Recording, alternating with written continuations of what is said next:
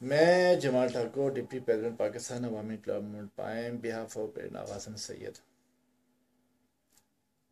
असल में आज जो टॉपिक है, वो इस बात पे है कि जो लोग अपने मुल्क पाकिस्तान से यहाँ आना चाहते हैं और सेटल होना चाहते हैं उनको कुछ बातें बताना चाहता हूँ कि उनको मालूम पड़े कि यहाँ पे जो हालात हैं, वो किस किस्म के हैं। असल में बात यह है कि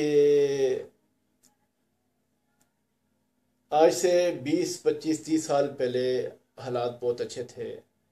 गौरव ने बहुत वेलकम किया हम लोगों को यहाँ पे और हमें बहुत सारी फैसिलिटीज़ दी हम पे भरोसा किया इतमाद किया और हमको यहाँ पे रहने की जगह दी।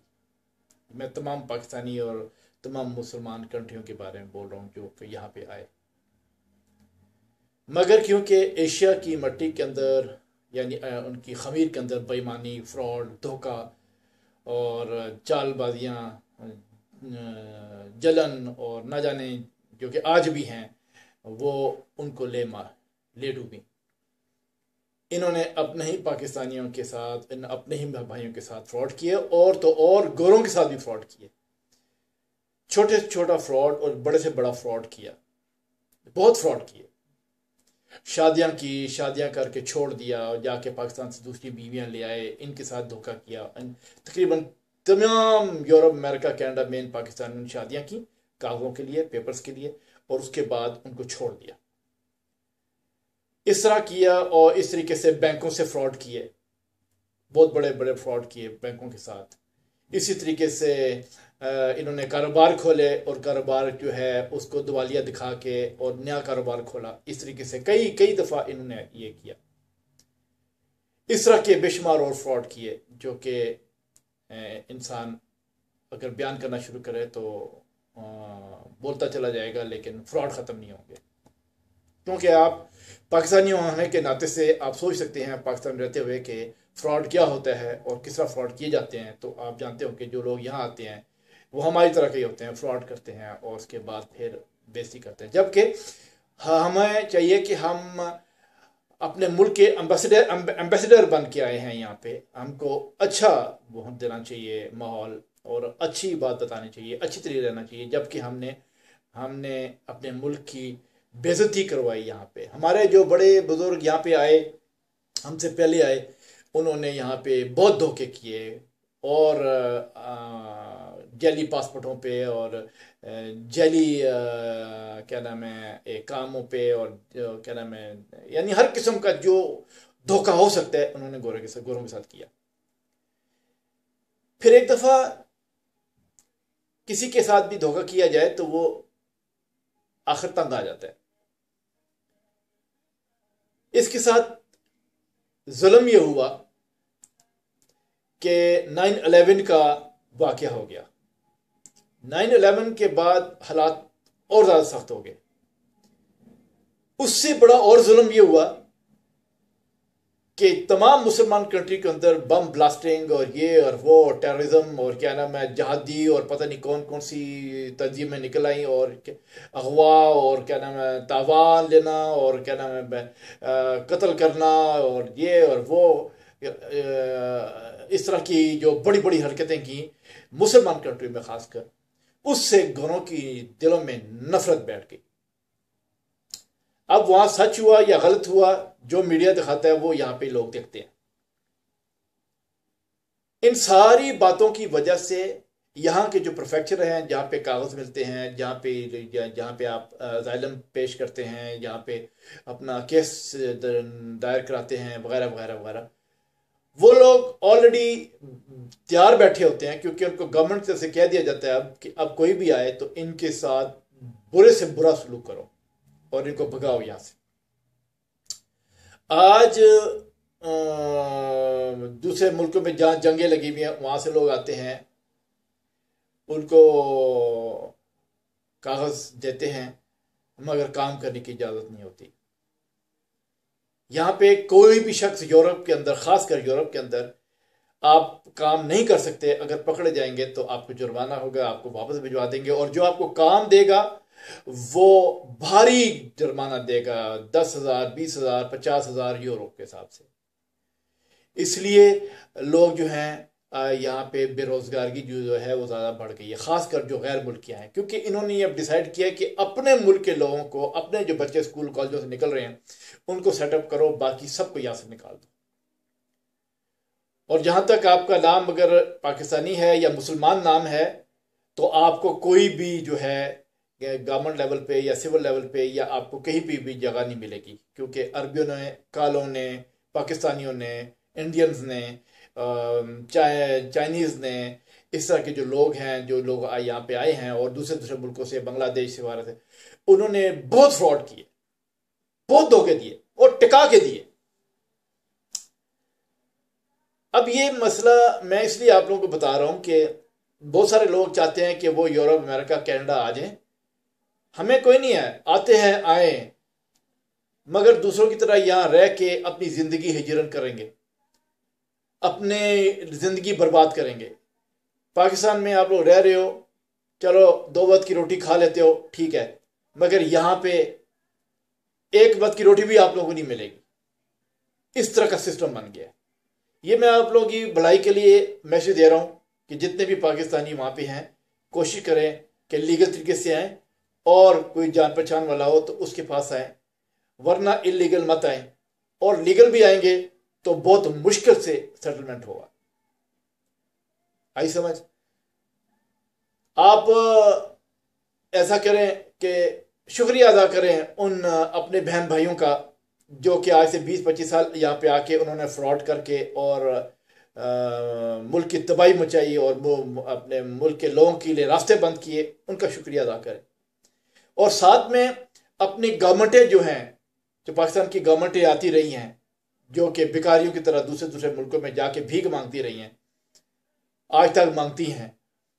और अपनी गवर्नमेंट के अंदर सिस्टम इतना ख़राब है कि इनके इनके लोगों को मालूम होता है कि आपकी गवर्नमेंट आपकी पब्लिक ये अभी सेटेलाइट के ज़रिए और इंटरनेट के ज़रिए और अपनी इंफॉर्मेशन के ज़रिए इतने अंदर जा चुके हैं कि वो जानते हैं कि आपके मुल्क में अगर आप आके कहेंगे भी कैसी की बात है तो आपसे कहेंगे, जी, कौन सी ऐसी बात है? आप हमें कहीं से निकाल के दिखाएँ। उनको पता है कि आप फ्रॉड कर रहे हैं, झूठ बोल रहे हैं। उनको पता है, जब आपकी वो शक्ल देखते हैं तो वो जान जाते हैं कि ये फ्रॉडी झूठे मुल्क से आए हैं और इनके साथ ऐसे ट्रीट करो। ये मैं डिसअपॉइंट करने के लिए नहीं कह रहा। मैं किसी को डिसअपॉइंट नहीं करना चाहता। ना ही आगाज़ किसी को डिसअपॉइंट करना चाहता है। हम सिर्फ़ सच्ची बात करते हैं। आज तक हमने दस साल में जो भी अपनी जो जो रेवोल्यूशनरी अंदाज में बात की, सच्ची बात की, सच्ची बात लोगों को बताई और मुल्क के फ़ायदे और उसके, उसकी उसकी भला भला के लिए आज तक हम बात करते हैं। और आज ये जो मैं बात कर रहा हूँ, ये भी अपने मुल्क के हम हालाँकि आप लोगों ने हमारे साथ जो ज्यादतियाँ की हैं अब मुल्क ने, कौम ने गवर्नमेंटों ने, सबने हमारे साथ जो जाती की है, वो हम भूलने वाले नहीं। मगर फिर भी, क्योंकि हम सैयद हैं, और सादात का काम है कि वो सही मैसेज पहुँचाए पब्लिक तक। तो मैंने आप लोगों के सही, मैं मैं इसलिए मैसेज पहुँचाया है कि अपने मुल्क में रह के औखे सौखे होके रहो, कि बाहर आके दूसरे मुल्कों में ख्वार होके, खज्जल ख्वारी के बाद वापस जाना पड़ जाए। और रो रो धो के वापस जाना पड़ जाए तो बेहतर है बंदा वहीं रहे। दूसरी बात ये कि मुल्क के अंदर हालात चेंज उसी वक्त होंगे जब आप पब्लिक लोग खुद इस बात को समझोगे कि हमने अपने मुल्क को सेटअप करना है तो हमारे जो जितने भी सूबे तो बनाने वाले या सूबे तोड़ने वाले, यानी मुल्क को तोड़ने वाले जो हजरात हैं, जो सियासतदान हैं, उनसे परहेज और परहेजगारी करें पीछ पीछे रहें। अगर आप लोग खुद सोच समझ के साथ नहीं चलेंगे तो जारी बात है, मुल्क नुकसान में जाएगा और आप लोग भी नुकसान में जाएँगे। हम लोग ये चाहते हैं, हमेशा ये चाहते हैं, गो कि ये बहुत मुश्किल टास्क है, बहुत मुश्किल काम है, इसमें कोई शक नहीं। मगर करने वाले हों तो कई सालों में इंसान कर जाता है। यही काम जितने भी आज तक सियासतदान आप लोगों के पास आए, उनका काम था कि वो उस मुल्क के अंदर पढ़ाई, लिखाई कराते, लोगों को इल्म देते, लोगों को, लोग स्कूल, कॉलेजेस खोलते, हॉस्पिटल्स खोलते उन जो पैसा आता है बाहर से आया, उससे तरक्की करते, कारोबार लेके आते तो मुल्क के अंदर जो है कारोबार आता तो लोगों को रोज़गार मिलता।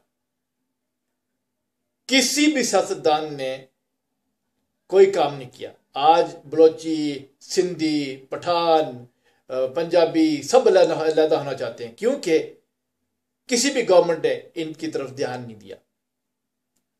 अगर ध्यान दिया होता, और हर सूबे के अंदर तरक्की दी होती, और सूबे के जो बड़े लोग हैं, अगर वो वतन से प्यार करते होते पब्लिक से प्यार करते होते, मोहब्बत करते, पाकिस्तान की मट्टी से, उसके झंडे से, उसके पासपोर्ट से प्यार करते होते अपने दीन से प्यार करते होते तो वो पाकिस्तान को सड़सठ सालों में बहुत ज़्यादा स्टैब्लिश करते। ये बहुत आसान काम है, बहुत आसान काम है, अगर मन साफ़ हो। जब आपका मन खराब हो, बेईमान हो, आपकी रजीम बेईमान हो तो सारी बात है, कोई भी काम बहुत मुश्किल होता है। एक पानी का गिलास उठ के पीना भी मुश्किल होता है। वो लेना बड़ा मुश्किल होता है। लेकिन अगर आपकी हिम्मत हिम्मत हो तो आप पानी का गिलास खुद भर के खुद पी सकते हैं। बजाय इसके कि आप किसी को बोले कि मुझे एक गिलास का पानी दो उधर पीने के लिए।